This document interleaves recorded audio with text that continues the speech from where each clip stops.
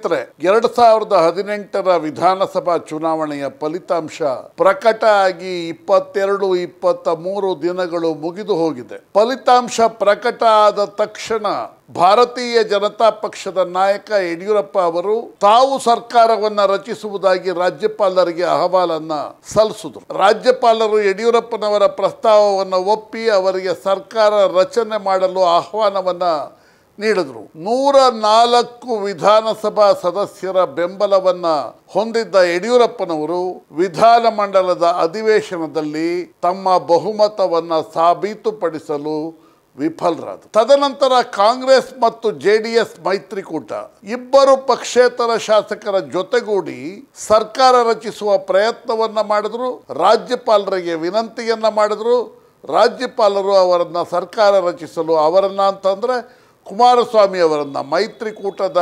ನಾಯಕತ್ವವನ್ನು ವಹಿಸಿಕೊಂಡ ಕುಮಾರಸ್ವಾಮಿ ಅವರಿಗೆ ಸರ್ಕಾರ ರಚನೆ ಮಾಡಲು ಆಹ್ವಾನ ಮಾಡಿದರು. ಕುಮಾರಸ್ವಾಮಿ ಅವರು ವಿಧಾನಮಂಡಲದ ಅಧಿವೇಶನದಲ್ಲಿ ಮೈತ್ರಿಕೂಟದ ಬಹುಮತವನ್ನು ಸಾಬೀತುಪಡಿಸುವಲ್ಲಿ ಯಶಸ್ವಿಯಾದರು ನೋಡಿ, ಇಪ್ಪತ್ತೆರಡು ದಿನ ವಿಧಾನಸಭೆಯ ಚುನಾವಣೆ ಫಲಿತಾಂಶ ಪ್ರಕಟ ಆಗಿ ಯಡಿಯೂರಪ್ಪನವರು ರಾಜೀನಾಮೆಯನ್ನು ನೀಡಿ ಹದಿನೆಂಟು ದಿನ ಆಗಿದೆ. ಈ ಹದಿನೆಂಟು ದಿನಗಳ ನಂತರ ಈ ಮೈತ್ರಿಕೂಟದ ಸರ್ಕಾರ ಸರ್ಕಾರವನ್ನು ರಚನೆ ಮಾಡೋದಕ್ಕೆ ಸಾಧ್ಯವೇ ಆಗಿಲ್ಲ. ಸರ್ಕಾರ ಅಂದರೆ ಅರ್ಥಾತ್ ಮಂತ್ರಿಮಂಡಲವನ್ನ ರಚಿಸೋದಕ್ಕೆ ಸಾಧ್ಯ ಆಗಿಲ್ಲ. ಕಟ್ಟ ಕಡೆಗೆ ಈಗ ಮಂತ್ರಿಮಂಡಲ ರಚನೆ ಆಗ್ತಾ ಇದೆ. ಒಂದು ರೀತಿಯಲ್ಲಿ ಇದು ಗಜಪ್ರಸವ. ಈ ಗಜಪ್ರಸವದ ನಂತರವೂ ಈ ಮೈತ್ರಿಕೂಟ ನೆಮ್ಮದಿಯಿಂದ ನಿರಾತಂಕವಾಗಿ ಹೆಜ್ಜೆ ಇಡುತ್ತಾ ಅನ್ನುವ ಪ್ರಶ್ನೆಯನ್ನ ಹಾಕೊಂಡ್ರೆ ನೋಡಿ ಜಾತ್ಯತೀತ ಜನತಾ ದಳದಲ್ಲಿ ಸಚಿವರಾಗಬೇಕು ಅನ್ನುವರ ದೊಡ್ಡ ದಂಡೆ ಇತ್ತು. ಸಚಿವ ಪದವಿ ಸಿಗೋದಿಲ್ಲ ಅಂತ ಅನ್ನೋರಲ್ಲಿ ಅವರಲ್ಲೂ ಸಾಕಷ್ಟು ಜನ ಇದ್ದಾರೆ. ಅವರು ತಮ್ಮ ಅತೃಪ್ತಿ, ಅಸಮಾಧಾನವನ್ನು ಈಗ ಬಹಿರಂಗಪಡಿಸೋದಕ್ಕೆ ಪ್ರಾರಂಭ ಮಾಡಿದರು ಕಾಂಗ್ರೆಸ್ ಪಕ್ಷದಲ್ಲಿ ಸಚಿವರಾಗುವವರ ದೊಡ್ಡ ದಂಡೆ ಇತ್ತು. ಕಳೆದ ಮೂರ್ನಾಲ್ಕು ದಶಕಗಳಿಂದ ನಿರಂತರವಾಗಿ ಸಚಿವರಾಗ್ತಾ ಇರೋದು ಒಂದು ದಂಡು. ನಾಲ್ಕೈದು ಬಾರಿ ಶಾಸಕರಾಗಿದ್ರೂ ಸಚಿವರಾಗುವ ಅವಕಾಶ ಸಿಗ್ತಾ ಇಲ್ಲ ಅನ್ನುವಂತಹ ಶಾಸಕರು, ಇವರ ನಡುವೆ ಒಂದು ರೀತಿ ದೊಡ್ಡ ಪೈಪೋಟಿಯೇ ನಡೆದಿದೆ. ಅಂತಿಮವಾಗಿ ಕಾಂಗ್ರೆಸ್ ಪಕ್ಷ ಒಂದು ಸೂತ್ರವನ್ನು ರೂಪಿಸಿ ಯಾರು ಸಚಿವರು, ಯಾರು ಸಚಿವರಲ್ಲ ಅಂತ ಹೇಳಿದೆ. Whatever it may be ನೋಡಿ ಈಗ ಮೈತ್ರಿಕೂಟದ ಮುಖ್ಯಮಂತ್ರಿ ಆಗಿರೋದು ಕುಮಾರಸ್ವಾಮಿ ಅವರು. ಮುಂದಿನ ದಿನಗಳಲ್ಲಿ ಅವರು ತಮ್ಮ ಸರ್ಕಾರವನ್ನು ಯಶಸ್ವಿಯಾಗಿ ನಡೆಸಬೇಕಾದ್ರೆ ಐದು ವರ್ಷಗಳ ಕಾಲ ಅವರು ಈ ಸರ್ಕಾರವನ್ನು ನಡೆಸಬೇಕು. ರಾಹುಲ್ ಗಾಂಧಿ ಅವರು ಹೇಳಿದ್ದಾರೆ ಮುಂದಿನ ಐದು ವರ್ಷಗಳಿಗೆ ಕುಮಾರಸ್ವಾಮಿ ಅವರೇ ಮುಖ್ಯಮಂತ್ರಿ ಅಂತ. ಚಿನ್ನದ ಹರಿವಾಣದಲ್ಲಿಟ್ಟು ಕುಮಾರಸ್ವಾಮಿ ಅವರ ಮನೆ ಬಾಗಿಲಿಗೆ ಹೋಗಿ ಮುಖ್ಯಮಂತ್ರಿ ಪದವಿಯನ್ನ ರಾಹುಲ್ ಗಾಂಧಿ ಅವರು ನೀಡಿದ್ದಾರೆ. ಈ ಹಿನ್ನೆಲೆ ಒಳಗೆ ಕುಮಾರಸ್ವಾಮಿ ಅವರು ರಾಹುಲ್ ಗಾಂಧಿ ಅವರಿಗೆ ದೊಡ್ಡ ಪ್ರಮಾಣದ ಕೃತಜ್ಞತೆಯನ್ನು ಸಲ್ಲಿಸಿದ್ದಾರೆ ಆ ಕೃತಜ್ಞತೆ ಏನು ಅಂತ ಅಂತಂದ್ರೆ ರಾಹುಲ್ ಗಾಂಧಿ ಪುಣ್ಯಾತ್ಮ ನನಗೆ ಮುಖ್ಯಮಂತ್ರಿ ಪದವಿಯನ್ನು ದಯಪಾಲಿಸ್ತಾ ಅಂತ. ಓಕೆ, ರಾಹುಲ್ ಗಾಂಧಿ ಪುಣ್ಯಾತ್ಮ ಮುಖ್ಯಮಂತ್ರಿ ಪದವಿಯನ್ನು ದಯಪಾಲಿಸ್ತ. ಆದರೆ ಮುಂದಿನ ದಿನಗಳಲ್ಲಿ ಮುಖ್ಯಮಂತ್ರಿ ಪದವಿಯನ್ನು ದಯಪಾಲಿಸಿದ ಕಾಂಗ್ರೆಸ್ ಪಕ್ಷ ಜೆ ಡಿ ಎಸ್ಗೆ ಎಷ್ಟರ ಮಟ್ಟಿಗೆ ನಿಷ್ಠವಾಗಿರುತ್ತೆ ಅನ್ನೋದೇ ಮಿಲಿಯನ್ ಡಾಲರ್ ಪ್ರಶ್ನೆ. ನೋಡಿ, ಜಾತ್ಯತೀತ ಜನತಾದಳ ಎರಡು ಸಾವಿರದ ನಾಲ್ಕರಲ್ಲಿಯೂ ಕಾಂಗ್ರೆಸ್ ಪಕ್ಷದ ಜೊತೆ ಸರ್ಕಾರ ಮಾಡಿತ್ತು. ಈಗ ಎರಡು ಸಾವಿರದ ಹದಿನೆಂಟರಲ್ಲಿ ಕಾಂಗ್ರೆಸ್ ಪಕ್ಷದ ಜೊತೆ ಸರ್ಕಾರವನ್ನು ಮಾಡ್ತಾ ಇದೆ. ಆದರೆ ಈ ಸರ್ಕಾರದ ಸುಭದ್ರತೆ ಎಷ್ಟು ಅನ್ನುವ ಪ್ರಶ್ನೆಗಳಿಗೆ ಉತ್ತರವನ್ನ ಹುಡುಕುವ ಪ್ರಯತ್ನವನ್ನ ಮಾಡಿದ್ರೆ ಕರ್ನಾಟಕದ ಉದ್ದಗಲಕ್ಕೂ ಪ್ರತಿಯೊಬ್ಬರು ಹೇಳೋದು ಈ ಸರ್ಕಾರದ ಅವಧಿ ಕೇವಲ ಆರು ತಿಂಗಳು ಮಾತ್ರ. ಇದಕ್ಕೆ ಕಾರಣ ಏನು? ಇದಕ್ಕೆ ಕಾರಣ ಕಾಂಗ್ರೆಸ್ನ ರಾಜಕೀಯ ವಂಚಕ ಮನಸ್ಥಿತಿ. ಇವತ್ತು ಕಾಂಗ್ರೆಸ್ ಚಿನ್ನದ ಹರಿವಾಣದಲ್ಲಿಟ್ಟು ಕುಮಾರಸ್ವಾಮಿ ಅವರಿಗೆ ಮುಖ್ಯಮಂತ್ರಿ ಪದವಿಯನ್ನು ದಯಪಾಲಿಸಿರಬಹುದು. ಆದರೆ ಇದೇ ಕಾಂಗ್ರೆಸ್ ಮುಂದೊಂದು ದಿನ ಕುಮಾರಸ್ವಾಮಿ ಅವರ ಕಾಲೆಳೆದ್ರೆ ಯಾರು ಅಚ್ಚರಿ ಪಡಬೇಕಾಗಿಲ್ಲ. ಸಾವಿರದ ಒಂಬೈನೂರ ತೊಂಬತ್ತಾರರಲ್ಲಿ ದೇವೇಗೌಡರು ಭಾರತದ ಪ್ರಧಾನಿ ತೊಂಬತ್ತೇಳರ ಹೊತ್ತಿಗೆ. ಅಂತಂದ್ರೆ ಹನ್ನೊಂದು ತಿಂಗಳು ಅವರು ಪ್ರಧಾನಿ ಪದವಿಯನ್ನು ಅನುಭವಿಸಿದ್ದಾಗ ಕಾಂಗ್ರೆಸ್ನವರು ದೇವೇಗೌಡರಿಗೆ ನೀಡಿದ್ದ ಬೆಂಬಲವನ್ನು ವಾಪಸ್ ತಗೊಂಡ್ರು. ಅಷ್ಟು ಮಾತ್ರ ಅಲ್ಲ, ದೇವೇಗೌಡರು ರಾಜೀನಾಮೆಯನ್ನು ನೀಡಿದ ನಂತರ ಇದೇ ಕಾಂಗ್ರೆಸ್ನವರು ಇಂದ್ರಕುಮಾರ್ ಗುಜರಾಲ್ ಅವರಿಗೆ ಬೆಂಬಲವನ್ನ ನೀಡಿ ಅವರನ್ನ ಪ್ರಧಾನಿ ಪಟ್ಟಕ್ಕೇರಿಸಿದ್ರು ಕಾಂಗ್ರೆಸ್ನವರು ಇಂದ್ರಕುಮಾರ್ ಗುಜರಾಲ್ ಅವರಿಗೆ ಬೆಂಬಲವನ್ನ ನೀಡುವುದರ ಬದಲು ದೇವೇಗೌಡರಿಗೆ ಕಂಟಿನ್ಯೂ ಮಾಡಬಹುದಾಗಿತ್ತು. ಆದರೆ ದೇವೇಗೌಡರು ಕಾಂಗ್ರೆಸ್ನ ಕೈಗೊಂಬೆ ಆಗೋದಕ್ಕೆ ಸಾಧ್ಯ ಇಲ್ಲ ಅನ್ನೋದು ಮನವರಿಕೆಯಾಗಿ ದೇವೇಗೌಡರಿಗೆ ನೀಡಿದ್ದ ಬೆಂಬಲವನ್ನು ವಾಪಸ್ ತಗೊಂಡು ಇಂದ್ರಕುಮಾರ್ ಗುಜರಾಲ್ ಅನ್ನುವಂತಹ ಒಬ್ಬ ಇಂದಿರಾ ಗಾಂಧಿಯವರ ಮಾಜಿ ಬಂಟನಿಗೆ ಪ್ರಧಾನಿ ಪಟ್ಟವನ್ನು ಕಟ್ಟೋದು. ಸ್ನೇಹಿತರೆ whatever it may be ಇದೇ ಮೊದಲೆಲ್ಲ ಕಾಂಗ್ರೆಸ್ ಚೀಟ್ ಮಾಡ್ತಾ ಇರೋದು, ರಾಜಕೀಯ ವಂಚಕತನವನ್ನ ಪ್ರದರ್ಶನ ಮಾಡ್ತಾ ಇರೋದು. ಸಾವಿರದ ಒಂಬೈನೂರ ಎಂಬತ್ತೊಂಬತ್ತರಲ್ಲಿ ವಿಶ್ವನಾಥ್ ಪ್ರತಾಪ್ ಸಿಂಗ್ ಅವರು ಕೇಂದ್ರದಲ್ಲಿ ಅಧಿಕಾರ ಸೂತ್ರ ಹಿಡಿದ್ರು ಪ್ರಧಾನಿಯಾಗಿ. ಅವರು ಕಾಂಗ್ರೆಸ್ ಪಕ್ಷದಲ್ಲಿ ರಾಜೀವ್ ಗಾಂಧಿಯವರ ಸರ್ಕಾರದಲ್ಲಿ ಹಣಕಾಸು ಸಚಿವರಾಗಿದ್ದರು, ಡಿಫೆನ್ಸ್ ಸಚಿವರಾಗಿದ್ದರು, ರಕ್ಷಣಾ ಸಚಿವರು ಆಗಿದ್ದರು ಕಟ್ಟ ಕಡೆಗೆ ರಾಜೀವ್ ಗಾಂಧಿಯವರ ಸರ್ಕಾರದಲ್ಲಿನ ಭ್ರಷ್ಟಾಚಾರಗಳ ವಿರುದ್ಧ ಬಂಡೆದ್ದು ಹೊರಗಡೆ.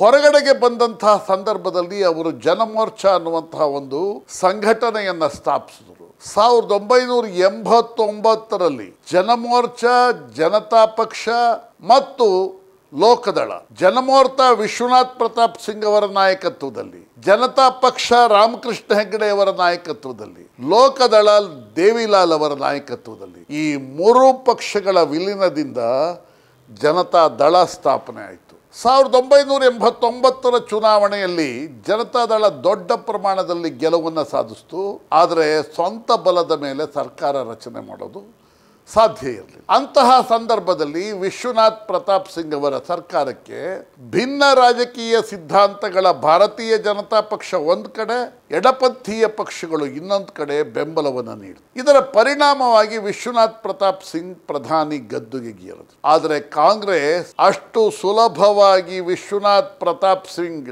ಭಾರತೀಯ ಜನತಾ ಪಕ್ಷ ಮತ್ತು ಎಡಪಂಥೀಯ ಪಕ್ಷಗಳ ಬೆಂಬಲದಿಂದ ಅಧಿಕಾರದ ಗದ್ದುಗೆಯಲ್ಲಿ ಶಾಶ್ವತವಾಗಿ ಕುಳಿತುಕೊಳ್ಳೋದಕ್ಕೆ ಅವಕಾಶವನ್ನು ನೀಡಲಿಲ್ಲ. ನೋಡಿ, ವಿಶ್ವನಾಥ್ ಪ್ರತಾಪ್ ಸಿಂಗ್ ಅವರ ಜನತಾ ದಳದಲ್ಲಿ ಒಬ್ಬ ಪ್ರಭಾವಿ ನಾಯಕ ಇದ್ರು ಅವರು ಚಂದ್ರಶೇಖರ್. ಇಂದಿರಾ ಗಾಂಧಿಯವರ ಕಾಲದಲ್ಲಿ ಯಂಗ್ ಟರ್ಕ್ ಅಂತ ಒಂದು ಗ್ರೂಪ್ ಇತ್ತು, ಆ ಗ್ರೂಪ್ ಅಲ್ಲಿ ಚಂದ್ರಶೇಖರ್ ಅವರು ಒಬ್ಬರು ಚಂದ್ರಶೇಖರ್ ಅವರಿಗೆ ಕಾಂಗ್ರೆಸ್ ಒಂದು ಆಮಿಷವನ್ನು ಒಡ್ತು ನೀವು ಎಪ್ಪತ್ತೈದು ಲೋಕಸಭಾ ಸದಸ್ಯರ ಜೊತೆ ಹೊರಬನ್ನಿ ನಾವು ನಿಮಗೆ ಬೆಂಬಲವನ್ನು ನೀಡ್ತೀವಿ. Chandrashekhar he has readily agreed ಎಪ್ಪತ್ತೈದು ಲೋಕಸಭಾ ಸದಸ್ಯರ ಜೊತೆ ಜನತಾದಳವನ್ನ ವಿಭಜನೆ ಮಾಡೋದ್ರಲ್ಲಿ ಯಶಸ್ವಿಯಾದರೂ ಅಂತಿಮವಾಗಿ ಕಾಂಗ್ರೆಸ್ ಚಂದ್ರಶೇಖರ್ ಅವರಿಗೆ ಬೆಂಬಲವನ್ನು ನೀಡಿತು. ಚಂದ್ರಶೇಖರ್ ಭಾರತದ ಪ್ರಧಾನಿ ಆಗಿಯೇ ಬಿಟ್ರು. ಆದರೆ ಕಾಂಗ್ರೆಸ್ ಚಂದ್ರಶೇಖರ್ ಅವರನ್ನ ನೆಮ್ಮದಿಯಾಗಿ ಅಧಿಕಾರ ನಡೆಸಲು ಬಿಡುತ್ತಾ ಅಂತಂದ್ರೆ ರಾಜೀವ್ ಗಾಂಧಿಯವರು ತಮ್ಮದೇ ಆದ ಬೇಹುಗಾರರ ಪಡೆಯನ್ನ ಇಟ್ಕೊಂಡು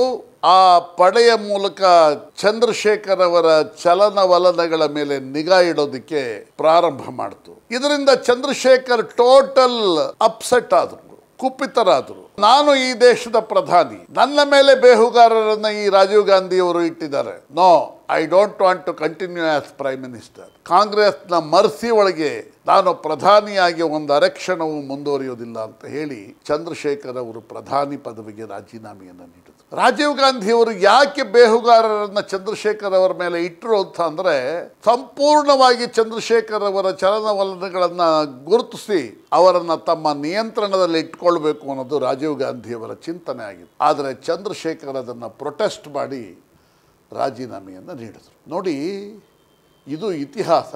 ನಾನು ಯಾಕೆ ಸಾವಿರದ ಒಂಬೈನೂರ ತೊಂಬತ್ತಾರರಲ್ಲಿ ಪ್ರಧಾನಿಯಾದ ದೇವೇಗೌಡರಿಗೆ ಹನ್ನೊಂದು ತಿಂಗಳಲ್ಲಿ ಅಂದರೆ ಸಾವಿರದ ಒಂಬೈನೂರ ತೊಂಬತ್ತೇಳರಲ್ಲಿ ಕಾಂಗ್ರೆಸ್ ಬೆಂಬಲವನ್ನು ಯಾಕೆ ವಾಪಸ್ ತಗೊಳ್ತು? ಚಂದ್ರಶೇಖರ್ ಅವರನ್ನು ಪುಸಲಾಯಿಸಿ ಪ್ರಧಾನಿ ಹುದ್ದೆಗೆ ನೀವು ಸ್ಪರ್ಧೆ ಮಾಡಿ ಎಪ್ಪತ್ತೈದು ಲೋಕಸಭಾ ಸದಸ್ಯರ ಜೊತೆ ಬನ್ನಿ, ನಾವು ನಿಮಗೆ ಬೆಂಬಲವನ್ನು ನೀಡ್ತೀವಿ ಅಂತ ಅಂದ್ಬಿಟ್ಟು ಕೇವಲ ಐದಾರು ತಿಂಗಳ ಅವಧಿಯಲ್ಲಿ ಅವರನ್ನು ಪ್ರಧಾನಿ ಪದವಿಯಿಂದ ಹೊರಹೋಗುವಂತೆ ಕಾಂಗ್ರೆಸ್ ಮಾಡ್ತು. ಕಾಂಗ್ರೆಸ್ ಏನು ಮಾಡ್ತು? ಹೋಗು ಅನ್ನಲಿಲ್ಲ ಹೊಗೆ ಆಗ್ತು. ಚಂದ್ರಶೇಖರ್ ಅವರು ಹೊರಗಡೆ ಹೋಗುವ ಹಾಗೆ, ಪ್ರಧಾನಿ ಪದವಿಗೆ ರಾಜೀನಾಮೆ ನೀಡುವ ಹಾಗೆ. ಅಂತಿಮವಾಗಿ ಚಂದ್ರಶೇಖರ್ ರಾಜೀನಾಮೆ ಕೊಟ್ಟರು ದೇವೇಗೌಡರು ರಾಜೀನಾಮೆಯನ್ನು ಕೊಟ್ಟರು ಸ್ನೇಹಿತರೆ, ನಾನು ಯಾಕೆ ಈ ನಿದರ್ಶನಗಳನ್ನು ತಮಗೆ ಹೇಳ್ತಾ ಇದ್ದೀನಿ ಅಂತ ಅಂದರೆ, ಭಾರತ ರಾಜಕಾರಣದಲ್ಲಿ ಕಾಂಗ್ರೆಸ್ದು ಎಲ್ಲ ಕಾಲಕ್ಕೂ ಒಂದೇ ಮನಸ್ಥಿತಿ. ಅಧಿಕಾರ ಸೂತ್ರ ಹಿಡಿಬೇಕು ಅಂತಂದರೆ ಪರಮಾಧಿಕಾರ, ಸಂಪೂರ್ಣ ಬಹುಮತದ ಜೊತೆ ತಾನೇ ಅಧಿಕಾರ ಸೂತ್ರ ಹಿಡಿಬೇಕು. ಮೈತ್ರಿಕೂಟದ ಸರ್ಕಾರವನ್ನು ರಚನೆ ಮಾಡ್ತೀವಿ ಅಂತ ಅನ್ನೋದಾದರೆ ಆ ಮೈತ್ರಿಕೂಟದ ನೇತೃತ್ವವನ್ನು ಕಾಂಗ್ರೆಸ್ ವಹಿಸಬೇಕು. ಇಲ್ಲದೆ ಬೇರೆಯವರು ಮೈತ್ರಿಕೂಟದ ನೇತೃತ್ವವನ್ನು ವಹಿಸಿದ್ರೆ ಕಾಂಗ್ರೆಸ್ ಅವರನ್ನು ಆರು ತಿಂಗಳುಗಳಿಗಿಂತಲೂ ಹೆಚ್ಚು ಕಾಲ ಸಹಿಸೋದಿಲ್ಲ. ದಿಸ್ ಈಸ್ ಕಾಂಗ್ರೆಸ್ನ ಕೆಟ್ಟ ಚಾಳಿ. ಈ ಹಿನ್ನೆಲೆ ಒಳಗೆ ಕುಮಾರಸ್ವಾಮಿ ಅವರು ಸಂತೋಷದಿಂದ ನಾನು ಮುಖ್ಯಮಂತ್ರಿ ಆಗಿದ್ದೀನಿ ಅಂತ ತಿಳ್ಕೊಳ್ಳೋ ಹಾಗಿಲ್ಲ.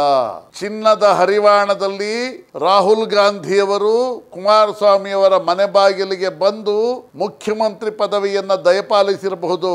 ರಾಜಸ್ಥಾನ, ಮಧ್ಯಪ್ರದೇಶ ಛತ್ತೀಸ್ಗಢ ವಿಧಾನಸಭಾ ಚುನಾವಣೆಗಳು ಎರಡು ಸಾವಿರದ ಹತ್ತೊಂಬತ್ತರ ಜನವರಿ ತಿಂಗಳಲ್ಲಿ ನಡೆಯುತ್ತೆ. ಆ ಚುನಾವಣೆಗಳಲ್ಲಿ ಕಾಂಗ್ರೆಸ್ ಏನಾದರೂ ಗೆಲುವು ಸಾಧಿಸಿದ್ರೆ ಕುಮಾರಸ್ವಾಮಿ ಅವರನ್ನ ಕ್ಷಣಾರ್ಧದಲ್ಲಿ ಮುಖ್ಯಮಂತ್ರಿ ಪದವಿಯಿಂದ ಆಚೆ ಇಡ್ತಾರೆ. ಕುಮಾರಸ್ವಾಮಿ ಶುಡ್ ಅಂಡರ್ಸ್ಟ್ಯಾಂಡ್ ದಿಸ್ ಈ ಕಟು ವಾಸ್ತವವನ್ನು ಅರಿತುಕೊಂಡು ಕಾಂಗ್ರೆಸ್ ಒಂದು ರೀತಿಯಲ್ಲಿ ಸೆರಗಿನ ಕೆಂಡ ಇದ್ದ ಹಾಗೆ ಕಾಂಗ್ರೆಸ್ ಅನ್ನ ಯಾವುದೇ ಕಾರಣಕ್ಕೆ ನಂಬಬಾರದು ಅನ್ನುವ ಎಚ್ಚರಿಕೆಯೊಡನೆ ಮುಖ್ಯಮಂತ್ರಿ ಪದವಿಯಲ್ಲಿ ಅಡಿ ಇಟ್ಟರೆ ಅವರಿಗೆ ಕ್ಷೇಮಕರ ಸೇಫ್ಟಿ. ಇಲ್ಲದೆ ಅವರು ಕಾಂಗ್ರೆಸ್ ನನ್ನ ಅಡಿಯಾಳಾಗಿ ಬಿದ್ದಿದೆ, ನನ್ನ ಪದತಲಕ್ಕೆ ಬಂದು ಬಿದ್ದಿದ್ದಾರೆ ಅವರು ನನ್ನನ್ನು ಏನೋ ಮಾಡಲಾರರು ಅಂತ ಭಾವಿಸಿದರೆ ಅದು ಕೇವಲ ಭ್ರಮೆ. ಕಾಂಗ್ರೆಸ್ ತನ್ನ ನೆಲೆಯನ್ನು ಗಟ್ಟಿ ಮಾಡಿಕೊಂಡ ಕ್ಷಣದಲ್ಲೇ ಜಾತ್ಯತೀತ ಜನತಾದಳವನ್ನು ಧೂಳಿಪಟ ಮಾಡುವ ಪ್ರಯತ್ನವನ್ನು ಮಾಡುತ್ತೆ. ಈ ವಾಸ್ತವವನ್ನು ಅರಿತುಕೊಂಡು ಅಧಿಕಾರದಲ್ಲಿದ್ದಷ್ಟು ದಿನ ಜನಪರವಾದಂತಹ ಕೆಲಸವನ್ನ ಪ್ರಾಮಾಣಿಕತೆಯಿಂದ, ದಕ್ಷತೆಯಿಂದ ಮಾಡಿ ಜನರ ಮನಸ್ಸನ್ನ ಗೆಲ್ಲಿ. ನೀವು ಈ ವಿಧಾನಸಭಾ ಚುನಾವಣೆಯಲ್ಲಿ ಮೂವತ್ತ ಎಂಟು ವಿಧಾನಸಭಾ ಕ್ಷೇತ್ರಗಳಲ್ಲಿ ಗೆಲುವು ಸಾಧಿಸಿರಬಹುದು. ಆದರೆ ನಿಮಗೆ ನಿಜವಾದ ಬೆಂಬಲ ಸಿಕ್ಕಿರೋದು ನಾಲ್ಕೈದು ಜಿಲ್ಲೆಗಳಲ್ಲಿ ಮಾತ್ರ. ಮೈಸೂರು, ಮಂಡ್ಯ, ರಾಮನಗರ, ಬೆಂಗಳೂರು ಗ್ರಾಮಾಂತರ, ತುಮಕೂರು, ಹಾಸನ.